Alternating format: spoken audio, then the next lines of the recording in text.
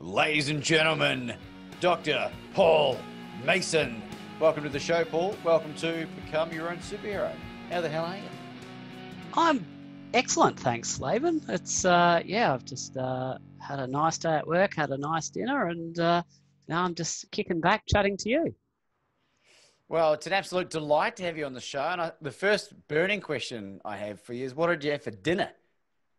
What did I have for dinner? Well, tonight it was uh, Swedish meatballs. Are they from IKEA by any chance? No, they weren't, but uh, we live near IKEA. Uh, it's actually, to be honest, they're not Swedish meatballs, but they're meatballs that we brand as Swedish for the purposes of uh, getting our kids to eat them. what makes a meatball Swedish? I think it's a little flag. Which you do not want to get on the roof of your mouth because that would hurt like a bitch. Yeah. No, yeah. So you you got to stick a little flag in each of them. That that identifies it. Paul, you're uh, you're a, a, very interesting individual to me, and I know that our audience will find you interesting as well. If they don't know you, maybe could you share a little bit about your background and, and what you're doing these days for us, please? Well, I'm a am uh, a medical doctor. I'm a sports medicine and exercise physician. So I've sort of got a bit of an interesting work life. I sort of spend a bit of time uh, treating metabolic disease. A large proportion of my time in clinic is uh, metabolic health, diabetics, helping people with weight loss and uh, autoimmune diseases, so on and so forth. I see a proportion of athletes, so ranging from the uh, recreational 5K runner up to uh, Olympic level athletes. And we just generally see a lot, bunch of people with uh, musculoskeletal aches and pains. So I tend to have a few interests. I'm um, probably like yourself, my attention span is sometimes a wee bit short. So I've uh, interests will include uh, spinal pain, tendon pain, you know, as well as metabolic stuff. And I spend a bit of time as a surgical assistant in theatre, usually about one day a week in theatres. So I've got a pretty good work-life balance, and that variety will hopefully keep me happy for at least the next couple of years before I get too bored. Well, how did you end up being interested in the areas that you're interested in now, Paul? I think there's uh, chance always has a lot to play with it. I think I've got a contrarian instinct or a, a questioning, uh, some people might say cynical um, instinct, uh, just looking at things and questioning whether that can be the way it is or not. I mean, I, I was a pretty typical medical student. I finished medical school and uh, I'd sort of, you know, pretty well swallowed hook, line, and sinker the whole um, lipid heart hypothesis that eating saturated fat will raise your cholesterol and you'll die of a heart attack. You ought not do that, you know, but sugar is okay because, hey, there's no fat in sugar. Um, and then I, I read some uh, literature. I just came across an editorial one day and it was in the British Journal of Sports Medicine, and it was by a couple of guys who are absolutely really in respect. So, Professor Peter Brukner and Professor Tim Noakes, and they're no slouches in the in the world of sports science. And if you understand that world at all, you'll know their names are held in the highest of regard. And they had this ridiculous editorial talking about how diabetes was nothing to do with fat and it was all to do with sugar and you could actually treat it and manage it and all of this. And it was a bit rubbish, but I looked at some of the references and what they were saying stacked up. I'm like, and I'm not normally that reactionary. I'm not normally quite that impulsive, but I think pretty much that evening I made the decision, well, I might just give this a crack. And, you know, that was about the time there was, uh, you know, about 10 years ago, Robert Lustig's talk on YouTube came out, Sugar the Bitter Truth. That's had over 10 million views now, and that details uh, intensely all the biochemistry of how fructose uh, can you know cause metabolic dysregulation, so on and so forth. So there was just multiple pieces of information coming in. And myself, I was I was young, I was fit, you know, I was um, I was exercising hours and hours a week, but you know, my you know, technically I had metabolic syndrome. I wasn't overweight, but I had dyslipidemia, and you know, had the uh, enough other features to tick the boxes for metabolic syndrome. So like uh, pre-diabetic state, or you were diabetic? No, no, no. So metabolic syndrome, there's just five markers relating to triglycerides and HDL, abdominal adiposity, blood pressure, and you know, there's Um, if you tick three of those, and you know arbitrarily you're defined as having metabolic syndrome. So, just very quickly, what are they? What are those five ones? Just very quickly for the the listener. So, so elevated blood sugar levels, um, hypertension or elevated blood pressure, um, triglycerides, HDL, and uh, what's the other one? What have I not said? HDL, triglycerides, blood pressure, uh, blood glucose. Uh, look, I it depends on the definition. So it's a moving target. So uh, and depending on the population, some uh, some people say the pop, you know, you you should change the level of blood sugar depending on the population in much the same way that we have different abdominal circumferences um, for populations depending on your ethnicity. Um, but you know, I really don't think that's um, uh, yeah, it doesn't really you know matter. You know, as long as you know if it's clearly higher, it's clearly low. You can have the mid range. But interestingly, if we are using the the um, symptoms of metabolic syndrome, there was a national survey in the United States recently that found that only 12% of Americans over the age of 20 are metabolically healthy. But so I was, uh, so I was in that uh, that 88% who wouldn't have been considered metabolically healthy. So I ended up giving the diet a crack myself, and I had stonking results. Um, and I guess uh, over time, I've uh, from personal results and you know I've literally thousands of hours of research and reading on the topic. I now apply it with my patients who also have magnificent results. Used it in athletes with excellent results. Um, it, it's sort of it's just one of those things. It's so applicable to to every aspect of health we look at, and so I can see patients they might have a metabolic issue, they might have a musculoskeletal issue. It can be diabetes. It can be for knee arthritis. It can be for autoimmune disease. There's dietary elements that can improve basically all markers of chronic disease, um, which makes sense really because chronic diseases are an aberrance of modern lifestyle. So is this is a potentially a sweeping generalization with all the work that you do with regards to muscle pain, back pain, uh, a lot of these inflammatory type responses, are they almost all related to the food that goes in our stomachs? I wouldn't say they're related, but you'd say there there is connections, and you'd say that a bad diet can make most anything else worse. So if we took something like back pain, um, then there's obvious, you know, there's different problems with discs and joints and so on and so forth. But if you're 50 kilograms overweight, that's going to be a contributor. And if you lose some of that weight, that's going to make things better. With um, joint pain, osteoarthritis, it gets really quite interesting because traditionally we say that if you can lose 10% of your body weight, then your arthritis pain will reduce by 30 to 50%. And that's a very well accepted number, which then brings the obvious paradox is that if we say that you reduce your body weight, that's reducing the mechanical loading on joints, shouldn't the reduction in pain therefore be more proportional to the amount of weight you lose? So, what we actually find, and, and this is where one of the nascent areas of science, which is quite exciting, is that all metabolic disease, there's two main things involved one, mitochondria, and two, the liver. And the liver produces this enzyme that actually helps break down the protective layer on the end of your bones. And the liver produces that more when it's sick and under stress and unhealthy. And when you lose weight, that first 10% of body weight you lose, well, a lot of that first 10% comes away from your organs. It's what we call this visceral fat or hepatic or liver fat.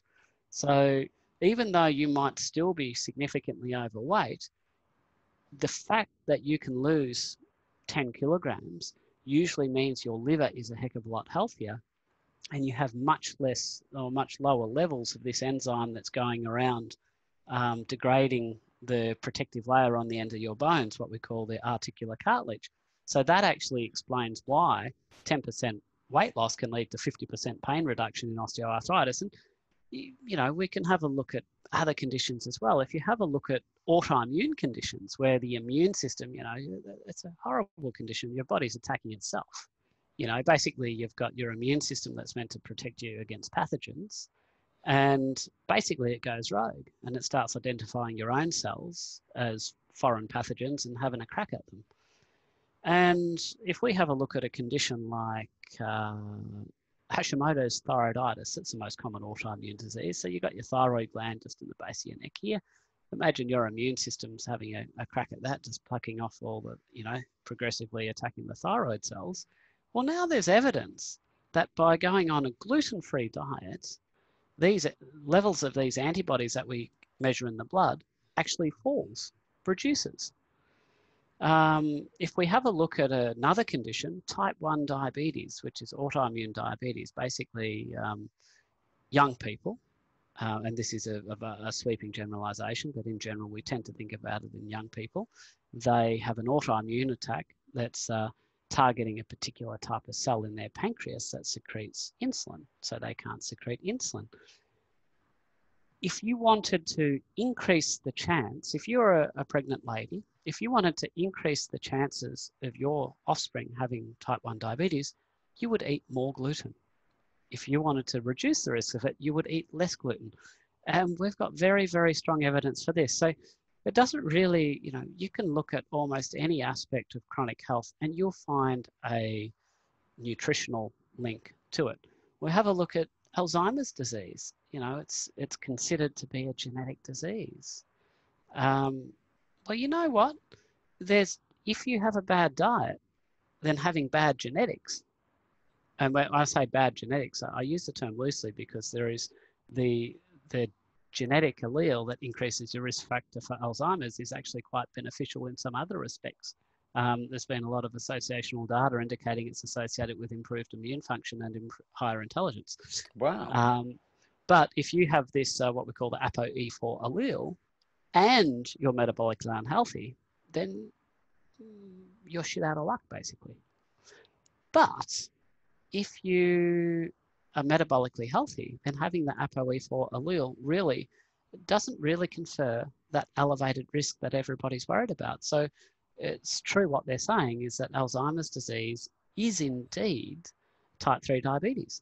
And then there's the big one, which a lot of people are very, very scared. And you, when I say the big one, you probably know where I'm going. Um, it's the big C word, cancer. And we know that obesity is independently associated with increased risk of at least 13 different types of cancers. So I, I, can I can comfortably say if you're metabolically healthy, then you have less risk of cancer. But the interesting thing for me is that our the paradigm of what causes cancer is now under challenge. And it's under challenge by a lot of articles that have now been published in the peer reviewed medical literature. So the existing paradigm is that cancer is a genetic disease.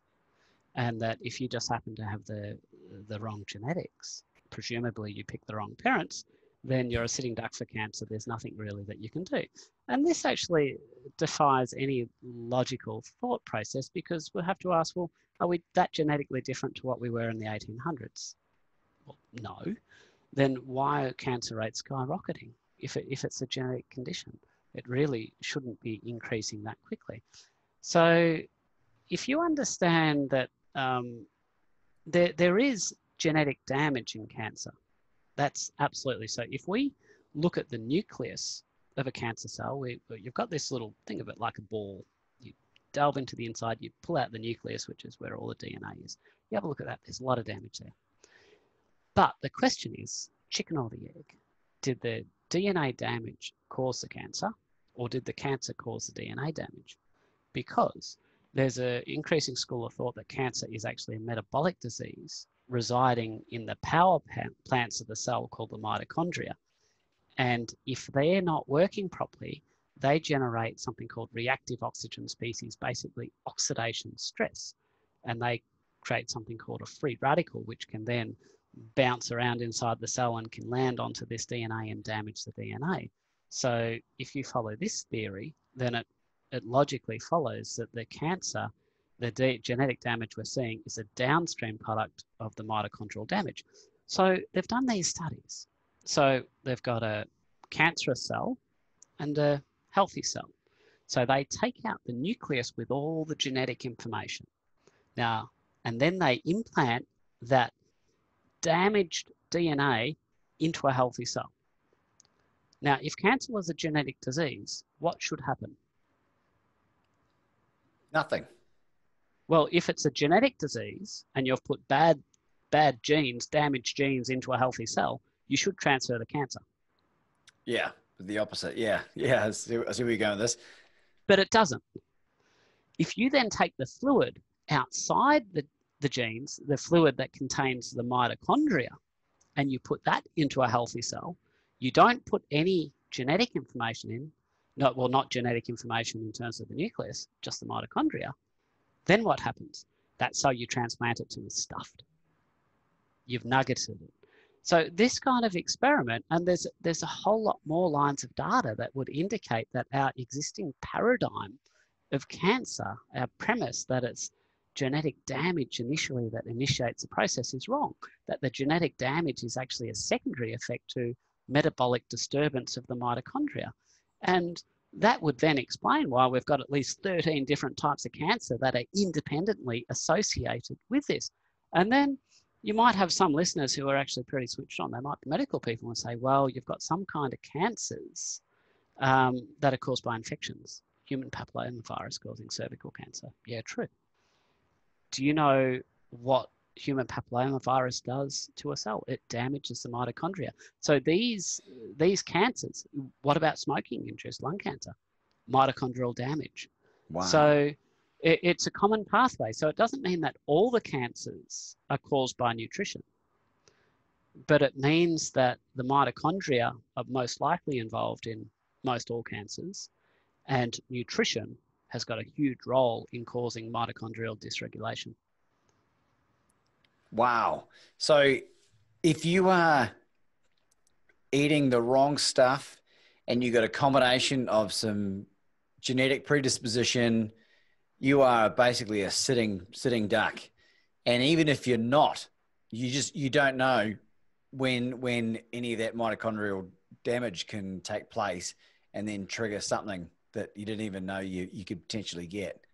I was reading some data today about the uh, Native American Indians um, before you know Europeans you know came and did what they did, and in the traditional native tribes, their rate of centenarians was, you know, something like, you know, 80 times more than in the equivalent white society. So wow. you have to ask yourself, so, you know, this is a massive number. So, you know, people living to be 100 in, you know, in a society supposedly without, you know, advanced medical care, so on and so forth, living a heck of a lot longer than white society. Um, and you know, so there's a lot of lifestyle factors there. And if we actually, you know, you know, and it's not necessarily that long ago, but it was just whether they were in their traditional lifestyles or not. Um, and wherever you, if you have a look at the uh, accounts of some of the early explorers looking at the native tribes of Africa and different places around the world, almost to a man, they these were people who were very well um, skilled. There's doctors who were well skilled and educated in diagnosing cancers and heart disease and stuff like that in their own countries before they they went offshore. Um, so it wasn't that they were incapable of diagnosing these conditions. It's just that these conditions weren't there to be found. They they couldn't. You know, a lot of cases they were looking for cancer, they couldn't find it. A lot of cases they were looking for heart disease, they couldn't find it. So early on, so with the Maasai, they did, you know, something like one study, maybe 400 ECGs from memory. Didn't find any problems. They did autopsies on 100 other native tribes people, and they found two cases that may have had evidence of having a heart attack, but they weren't really sure.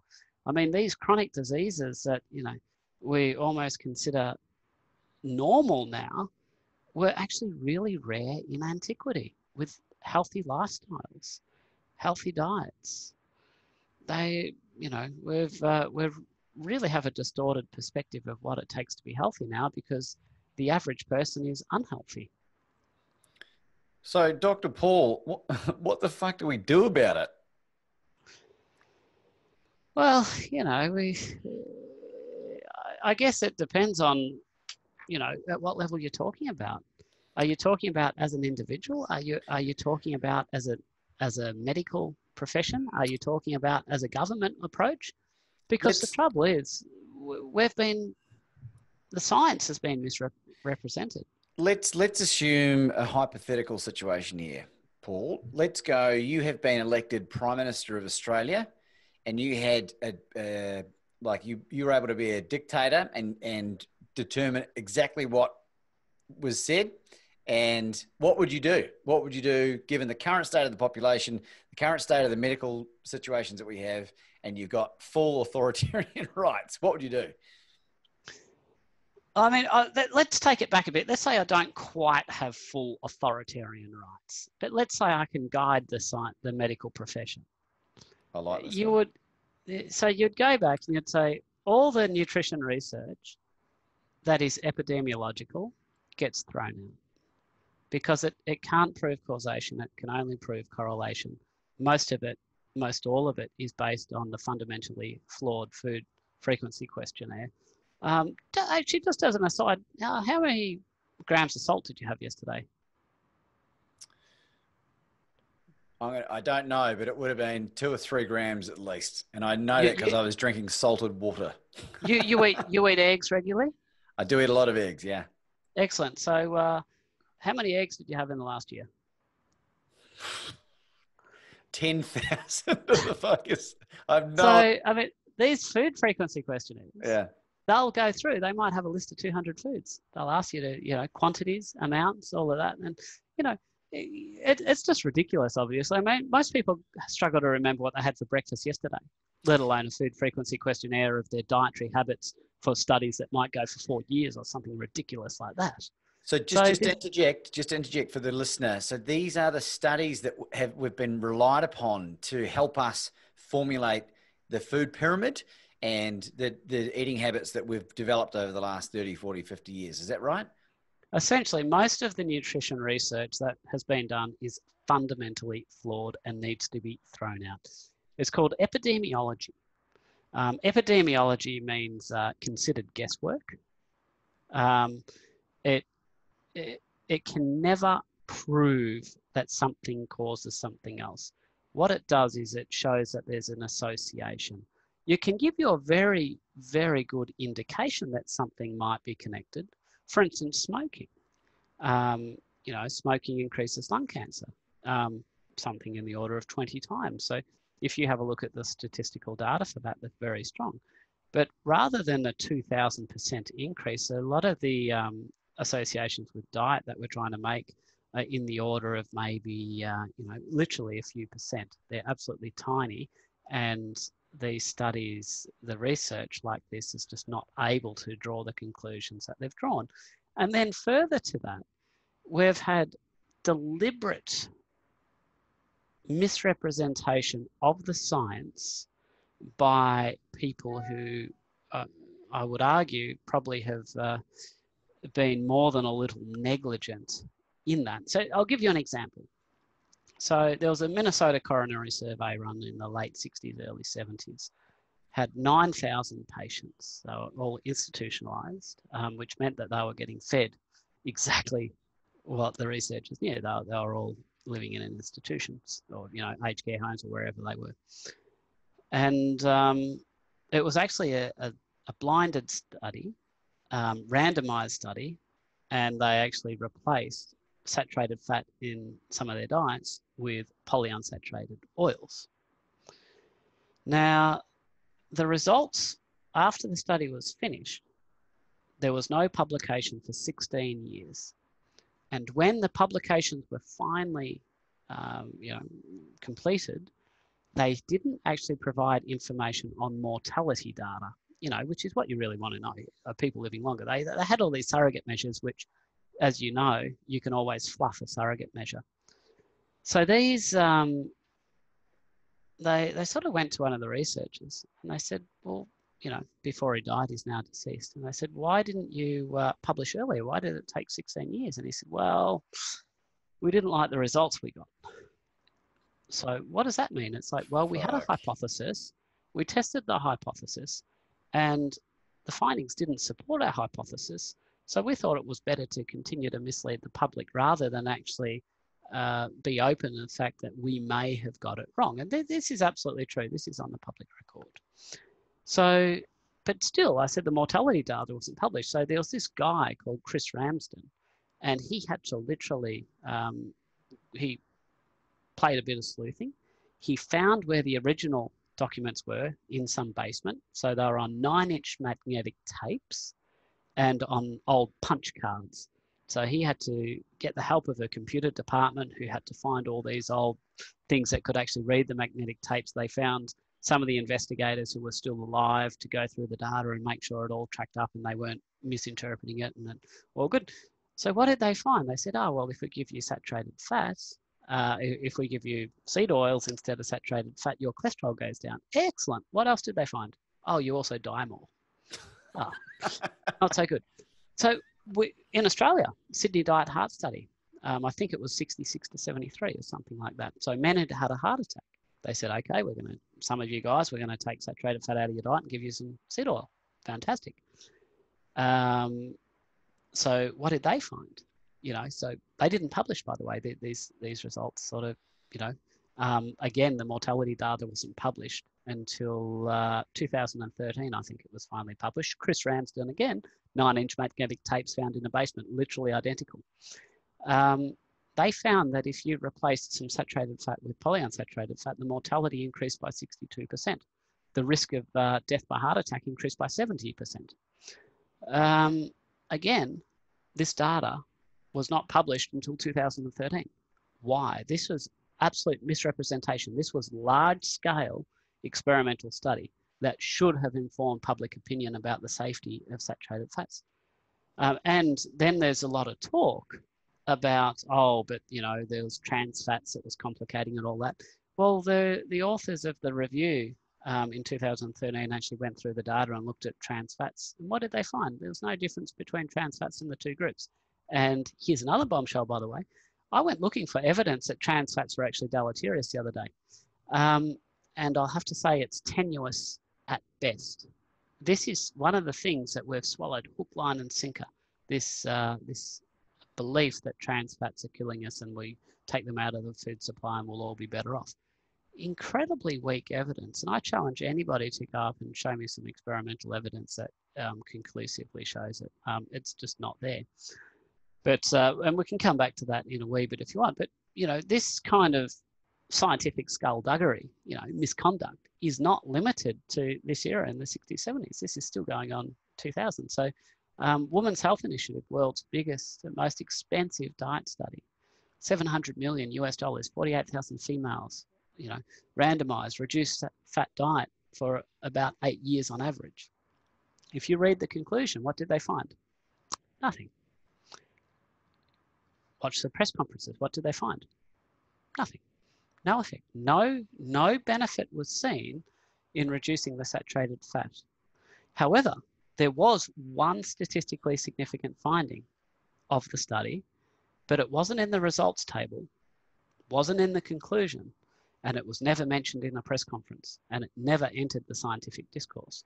It was on page 661 of the journal in which it was published, and it was a an obscure sentence, you know, somewhat out of context that if you weren't didn't have your radar on it, you would not know what it meant. And I've actually shown it to several doctors and they've just looked at it blankly and what does that mean? What was the finding that was buried on page 661? Well, those females with pre-existing heart disease, if they were unfortunate enough to be randomized to the low fat group, the low fat group, they had a 26% increased risk of events like heart attacks. World's most expensive, biggest diet study ever found clear evidence of the harm in reducing fat in the diet. And it was just, it was obscured from public view. It was a complete and utter misrepresentation, misrepresentation by omission of the science. So, you know, if I had, if I was omnipotent in terms of controlling medical research, I would say well, we have to just do proper research. The research can be done. In actual fact, the research has been done, and we know what the answers are. And we really need to throw out this, you know, horrible trove of epidemiological research, and actually have a look at what the actual science shows. We have to get these kind of this mentality of here's my hypothesis, I'm going to prove it, and if it doesn't stack up, then I'm uh, I'm just going to misrepresent it. And nobody is immune to this. Um, even Tim Noakes, he is now humble enough to turn around and admit he was wrong, but he still suffered these same cognitive biases when he was doing research, and he, he freely admits it.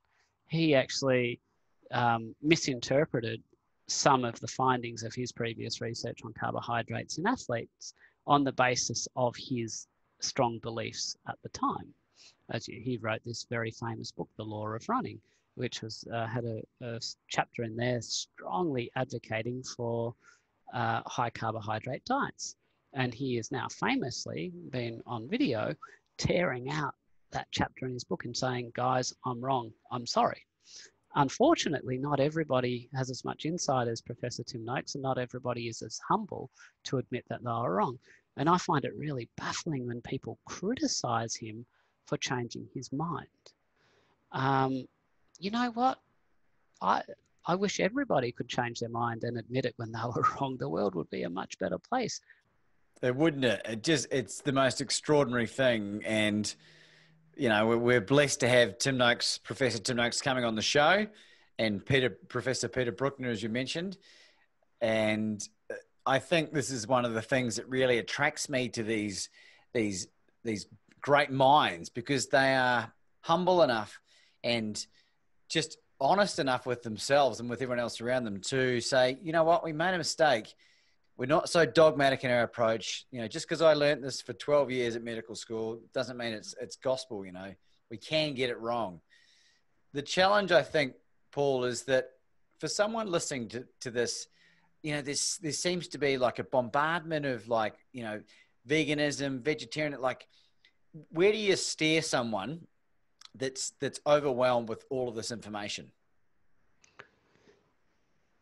To the science, and I, so this is what I say. So I, I, I don't want to ever get involved in any stand-up arguments with any other doctors, and my patients will come to me and they'll say, "Oh, I got told this, you know, by another doctor." I'll say, "Okay, well that's fine." I say, "Well, here's what I'm saying, and here's the evidence for it." you go and ask your other doctor to show you the evidence of to substantiate their perspective. And then when you've got those papers there, you know, then you can make your own decision. But you know what? I've had a couple of patients actually go to their other doctors there. They never stump up the research. They never stump up the papers. Or if they do stump up paper, it's not an original paper, it's uh, usually a guideline that you know is just repeating bad science. They never have good quality original research behind them, and that's the fascinating thing. I think if uh, if people were more scientifically literate, um, which they are becoming more scientifically literate, and two, if doctors were more receptive. Unfortunately, there's still an attitude of condescension by a lot of doctors I mean, you, you would have seen, um, you know, you go to your doctor sometimes, you got this mug, don't confuse your Google search for my medical degree kind of thing. And in a degree, sure, that's a bit funny and yeah, ha, ha, ha. But it is very condescending because I find a lot of patients will come in incredibly well educated about their condition. They might have a very rare condition. It might be one in 200,000. I've, I've learned three sentences on it in med school. I'll say, tell, tell me about it. Teach me about it give me five minutes, let me learn about it. Um, so I think that you know, doctors' inability, and I, am I'm, I'm broadly generalising there, but and it's a certain demographic, um, in particular, certain age of doctor, and dare I say, often a male doctor, um, who is really condescending and resistant to having any ideas, uh, any of their wisdom questioned by a patient, which I, I think is really sad because I've actually I've learned some incredible things off patients. I mean, my uh, I'm not I did a lecture on something called lectins a couple of years ago, um, which I never thought I would have uh, done a lecture on. It was um, it was really um, science fiction to me at the time. it's um, not that you were standing behind a lectern; you were talking about lectins. Lectins, L-E-C-T-I-N-S. I mean, this is a, a really weird thing. Which um, what's a lectin? Uh, what's a lectin, Doctor Paul? Ugh, that's a yes. So should we say that for another podcast? We'll say, I mean, carbohydrate binding protein that can trigger autoimmune disease. But the point is, I learned about lectins because patients come in and said, Oh, what do you know about this? Have you read this? Have you read that? And I'm like, Actually, no, I haven't. Um, but, you know, you can sometimes patients come in and they're just talking trash. They're, they're, they're like, you know, that has no biological basis at all. That's just rubbish. Forget yeah. But sometimes, you know, they say something and I say, Well, you know, I don't know. And my first instinct is to say, ah, it's rubbish. Quite I have to say, you know what? I actually don't know. It's much, when you say I don't know, it then allows you to say, I'm going to go and learn about that. I'm going to go and read that. And it might be for every 10 I don't knows, there's only one thing that actually turns out to be useful. But by God, sometimes it can be so useful. So, I mean, this learning about lectins for me has really opened up a whole new avenue of medicine. It's really it's uh, opened my eyes and given me the capacity to treat this whole um, cache of patients, cache of patients who were previously I couldn't help because I had no concept of how I could possibly help autoimmune disease besides medications with horrible side effects or beyond the whole usual approach of, uh, you know, can't see it, not there, not look because a, a, lot of patients will have autoimmune disease and they won't have been tested and they'll say to me well why didn't my other my usual doctor test for this? And i say well you know up until three years ago i don't know that i would have tested for it not because i couldn't test for it but because we didn't have any treatment for it. Mm-hmm. and if and we're routinely taught and quite logically if a test is not going to change management don't do the test. So if you don't have a test for something why would you test for it? If you don't have a treatment why would you test for it? Um, but now I have a treatment, and that's very empowering as a doctor. Well, if I can share something with you, Paul, because it, what you were speaking about earlier is so close to home for me. Because for 17 years, I had uh, diagnosed GERD, gastrointestinal reflux disorder, that I was told by 20 different different uh, GPs over the course of the 17 years to because I had to go back and get repeat prescriptions I had two endoscopies done and I had two surgeons check me out as well. And every single one of them said that I had a genetic disorder and it was incurable. There's nothing I could do about it. And I watched one podcast with Chris Kresser, the functional medicine guy on Joe Rogan back in 2016. And I'd quit drinking at that point. It'll be four years off the drink in next month. And I think I'd been off the drink for about four or five months. And then I learned about this gluten intolerance. And I went, oh, I wonder if that's me. And I cut out the all the refined uh, bread and pasta and stuff. And I got a DEXA scan done. And I lost three and a half grams, uh, three and a half kilograms of visceral fat around my organs in three months just from cutting out bread.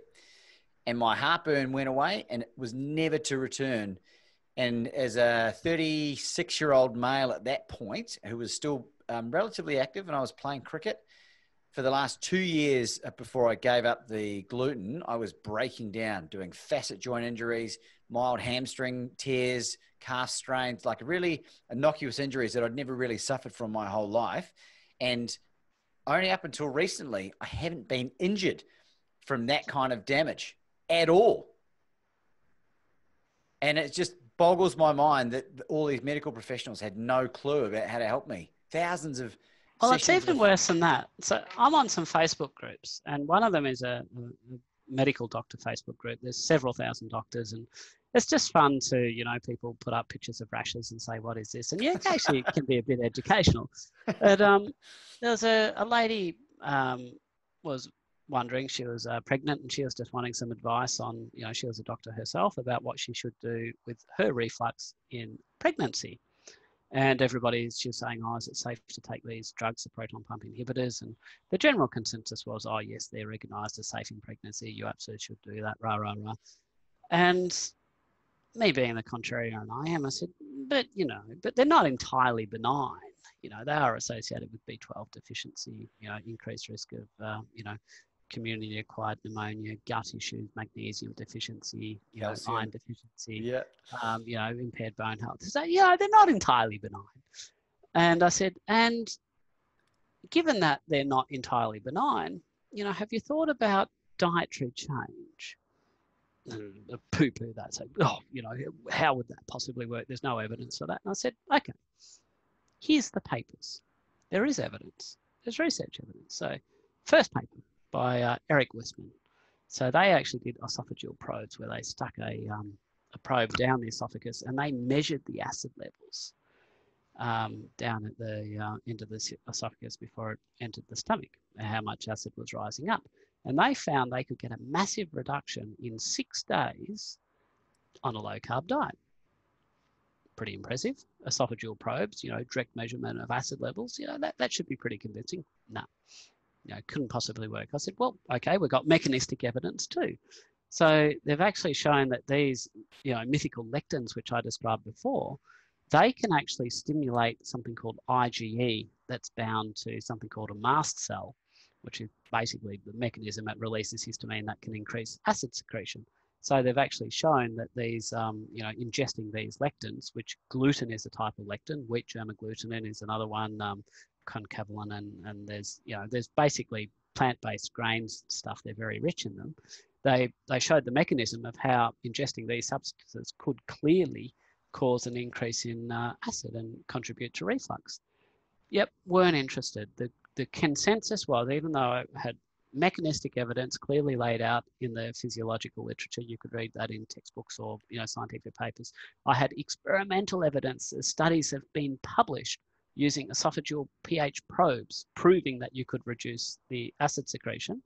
No, it's just, it, it, you know, you don't want to do something extreme like cutting out grains, it's much safer to just take a proton pump inhibitor because you know they're they're probably safe-ish in pregnancy, and that was the medical opinion, and I, I could not argue it with science. Um, and there, there's uh, you can't win that kind of argument because there's no logic used in that argument. And if I, as a doctor, can't convince other doctors when I've got evidence firmly on my side, well, what hope on God's green earth does the average patient have? One thing I forgot to tell you, Paul, which is very important, the follow-up DEXA scans that I got, I put on half a kilo of skeletal bone density in a year, and I wasn't doing much in the way of weightlifting. I was a runner. I started okay, so get running. this. So did you know that we have randomized control trial level of evidence that osteoporosis can be reversed with nutritional intervention in get this postmenopausal females and men over the age of 60 They've got randomized control trial level of evidence of that. And do you know what the standard of care for osteoporosis is? Bisphosphonate medication, horrible side effects. Um, there's a couple of other things that generally don't work. We have proven nutritional intervention and we don't do it. And part of it is um, 40% of the dry weight of bone is protein. So if you're trying to build bone, would it not be logical that you would need a high protein diet? You, know, it just logically. So yeah, because because what we've done is we used to give people calcium and vitamin D to increase calcium absorption because we know there's a lot of calcium in bone. But that's like trying to bake a cake with only one ingredient. You need all the ingredients. So if you give somebody a lot of calcium, that will reduce their need to break down bone to release calcium because bone is where the body will is calcium is stored. So if you're short on calcium in your diet, your body will just break down bone to get some. That's fine. So you can reduce down the degradation of bone or the loss of bone mineral density by giving somebody calcium. But how are you going to rebuild it if you don't have the protein there, which is the, the scaffolding structure in which all these minerals are placed? So, I mean, it just makes perfect sense. So in this study, they actually gave people uh, calcium and uh, yeah, calcium and vitamin D supplement. And then they looked at them, they monitored them with DEXA scanning over a three year period every six months to see what would happen. And they found, and they didn't find much. So then they did something smart. They stratified their results by protein intake. And they found that the people in the highest tertile of protein intake actually reversed their osteoporosis.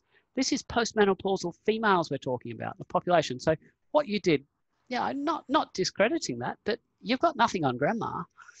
You know, if she can do it, and I I get sick. I this really annoys me because I see a lot of people come in and they're taking these bisphosphonate medications, which are basically once you put them in the body, you've got it for life.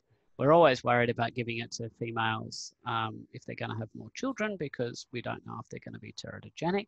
God Um, damn. I've seen them in athletes. The way they work is they inhibit bone turnover, but they don't make the bone healthier. They they affect the the connections within the bone, the interconnectedness, and they actually lead to a lot of stress fractures in athletes. I've seen some athletes have career-ending fractures because of this bisphosphonate medication. They're a terrible drug, and we've got nutrition that can be done easy, uh, that that that will replace it. And so, you know, your experience talks to the truth, and we I've don't got- do that. I've got one more example. It's anecdotal only, but another guest of the show, Dianne McGrath, the Mars One astronaut candidate, is a 50 year old female. And she has been experimenting with a carnivore diet, as in just all meat or all animal protein, to try and put on bone density because the seven months in space that it takes to get to Mars is the equivalent of going through menopause with in terms of the associated bone density loss. And Mhm. through DEXA scans, I heard this from her mouth, and maybe she should be someone that you uh, have on a show together, or you come on this one together and talk about this. She's put on about 250 to 300 grams in, in about a period of six months, I think, and combined Yeah. with some weight training. Well, Perimenopausal. it's, it's totally predictable. I mean, so we used to get taught, and it, when I say we used to get taught, it is current teaching that once you're 20 or 30 years old, your bone mineral density peaks and it is never recoverable from then. And this is just blatantly false. Um, so, I mean, and this should be very reassuring for the uh, the Mars mission astronauts to know that even if they do lose bone mineral density, which they almost certainly will, then it is recoverable. The only trouble is there's no cows on Mars. So they're going to have to 3D print all their meat, and Christ knows what the associated side effects of that will be. But that's for another podcast, I think. Yeah, I mean, well, they're, they're only going to recover once they get back to Earth. Well, pre- It's one way. It's one way. Yeah, that's what presuming they end up with a. Uh, So- yeah. Uh, Paul, I'm I I could talk about this all day and all night with you. You are a fascinating individual. What I what I think we should do is maybe bring this to a conclusion because for anyone that's interested in learning more about this, Paul has a uh, and a wonderful array of very interesting, well thought out, very well researched, and very credible information that you can watch uh, on YouTube. Very active member of Low Carb Down Under and involved with all of the other great minds that we were talking about as well, with Professor Tim Noakes and Professor Peter Brukner and Pete Jacobs we had on the show and Jamie L. Jacobs, who I know he was a patient of yours. He mentioned, spoke very, very highly of you as well. Um, so there's some really good stuff coming out of this, Dr. Paul. Do you want to finish on anything in particular before we go?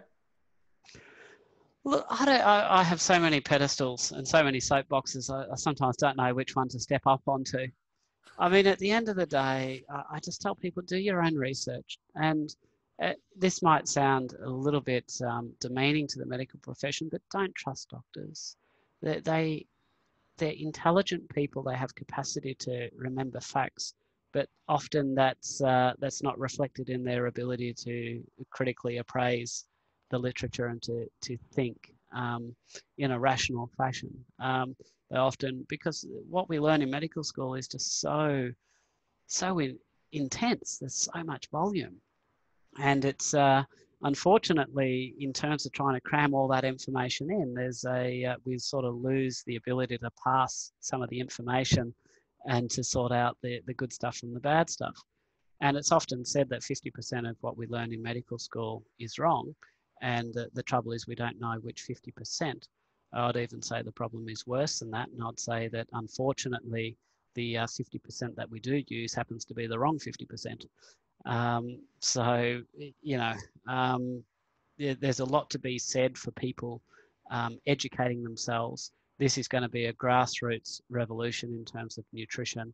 Um, there's really doesn't appear to be sufficient appetite for leadership in the political forum, and there's certainly a lot of opposing headwinds um, coming from uh, outside influential forces in terms of government policy. So you can't look at the government, you can't look at guidelines, you can't look at uh, the food labelling system to save you from this one.